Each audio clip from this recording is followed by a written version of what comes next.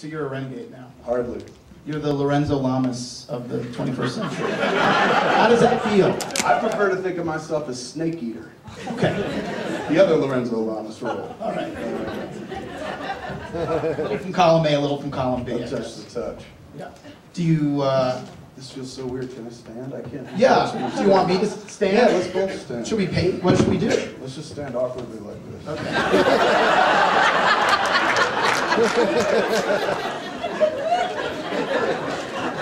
Should we say something or just Just conduct the fucking interview, dude. Um, so, do you consider yourself a renegade? No, man. You asked me that. Move to the next one. Okay. I really don't. I have never considered myself a renegade at all. It's just weird when people are like, oh, you're fucking against the system. It, it never occurs to me as that. It just occurs to me that's the only thing I know how to do. Not very talented. That's all I could do. Is the sh- I point to the screen that didn't show our shit. Um, but I, that's all I know how to do is the stuff I've done. If that makes me a renegade, then awesome. Well, maybe we can talk No, about no, no, we were, come on. the security blanket. I'm tactile, dude. I'm really tactile.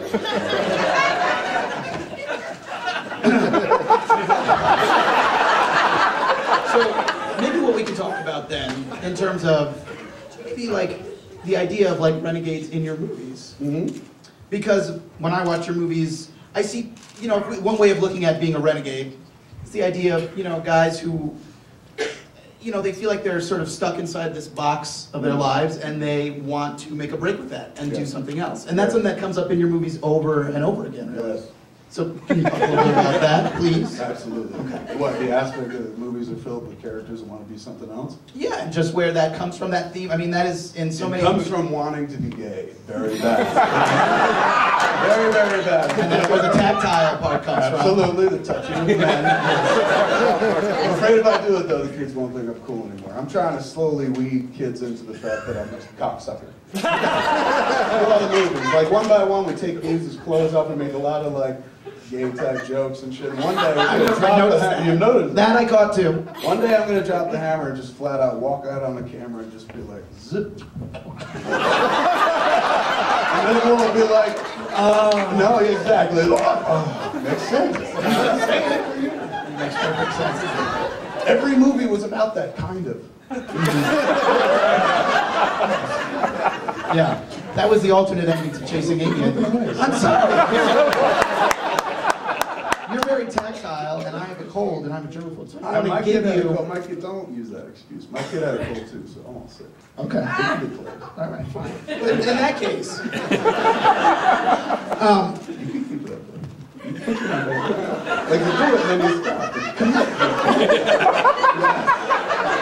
you really might just make out with me anymore. I just want to do a really friendly interview. I think it qualifies. Well, you know, the, uh, talking about the, uh, sort of the, the uh, male relationships bordering on almost homosexual relationships. Yes. Uh, the, you know, it gets to something else in your movies, the, the very sort of, you know, I don't know how you feel about the word bromances. I love it. You do, Yeah, yeah, because I feel like you you haven't gotten enough credit in this field. Because I really feel like your early films really sort of plumb this area. Plumbing jokes apparently being on my mind after your story, but you know what I mean. Like, there's so many of them now, and it's like, oh, we're in this very moment where everyone's talking about guy relationships and bromances, and I feel like you were doing it in your little niche here for so long, and now it's kind of expanded into the mainstream. Do you, do you, what do you think about that? I agree. I agree completely. Yeah, it seems like I guess that uh, comedy kind of took off in a weird way where people like to talk about their friendships with dudes.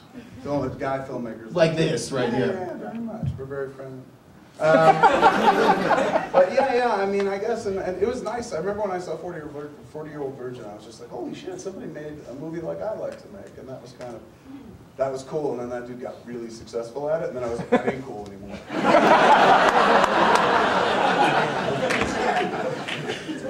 That wasn't even a joke. That was really like that. Shouldn't have laughed. Call up people and be like, why is it like that? They're like, anyway. Anyway, well, it's uh, 2009. Yes. 10th anniversary of Dogma, Yeah. which.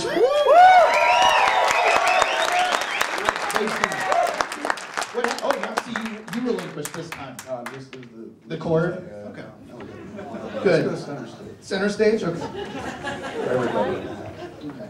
For the people. Yeah, yeah, yeah. So it's it's ten years since since then. Yes. And if we're gonna give you the, if, me, like I'm giving it to you, but if the Vail Film Festival is giving you a Renegade Award, I feel like that's kind of a appropriate film to talk about a little bit because I. I think that's kind of a, a very renegade moment of yours. Mhm. Can you talk about maybe anything that you think about now when you look back ten years ago at that film, recollections, and maybe what you think about the film now when you watch it, you you, you think about how it came out. Um, I think that basically when, when we started, when we started doing that, there was uh,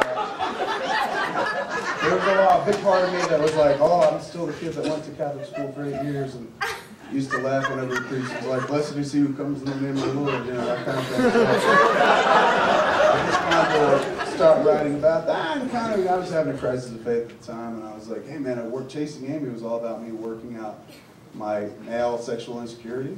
So I figured Dogma could be all about me working out my religious issues and shit like that, and, and try to do it and entertain people at the same time. I like it. I saw it fairly recently. the last uh, 10 minutes of the film, and it's. Um, I wish we had a little more money to do. It was rather ambitious for the budget, but I, I, you know, some of the action sequences. There's a fight in the, in the train that looks like a fight between three year olds. it's a slap fight. but I like it. It holds test time, I think. The audience agree. I- I just, I don't know if people in the back can see you were stroking my fingers while you were doing it. Like, like this with Instinct my wife. Yeah. You're a good handler. you. You're welcome. Sure. Um, any, any thoughts on, uh, you know, because, you know, the, the uh, topic of independent film obviously coming up on the stage a few times. Any thoughts on the current state of it and, and, and, and I don't know, I, I, it's a pretty broad question, obviously. Yes. Um, Um, yeah, I, it's, I mean, every once in a while, you're like, it doesn't quite exist anymore Right. like it used to. But then Yeah. you come to a place like this, and you're like, oh, they're giving out awards to movies I've never heard of. That must be an independent film, you know what I'm saying? So it's still alive and well out there. It's just weird. It's different than when, when I got in. When I, obviously, when I got into independent film, anybody could get in. Now, you know, they, after me, they're like, shit, we let retarded kids in? closed ranks and it's much harder for everybody else to get in. So I'm sorry, I ruined the curve for everybody. I I know we're, we're supposed to take questions from the audience as well in a minute, so people can maybe start thinking of questions. And uh, I'm sure you'll be more comfortable with that. You won't have to hold my hand anymore. You're, you're okay? Do you, can, this is, you don't have to if you don't want to, but I'm really curious to hear about the, the, the upcoming movie as Yeah. a fan. Can I hear just a little bit about, you know, what uh, attracted you to the project? First film, you haven't, you know, the idea at least hasn't uh, come to you. I don't know if you're rewriting it at all. I'm not, I'm not really, yeah. So maybe you can talk about it. There's this uh, flick I'm gonna direct next, and it's the first uh, flick that I, I didn't write. And it's, uh, it's so not a film, it's very much a movie, but it's a good movie. And I was kind of attracted to it because it's the kind of movie that my old man would have taken me to when I was a kid. The older you get, that's what you think about more. Like when I was an angry young man, it was all about like, yeah, man, I want to make these movies, my movies that stay what I want to say, because what I have to say is real fucking important. And then uh, the older you get, you're just like, oh, I just don't want to die one day. So, and at that point too, is like, suddenly you start thinking about shit like. So this is your Synecdoche, New York, basically. Pretty much. This is me sitting there going like, you know, one day I'm gonna die, and when I die, I don't want to sit there going, fuck, why didn't I make that Bruce Willis movie when I had the chance?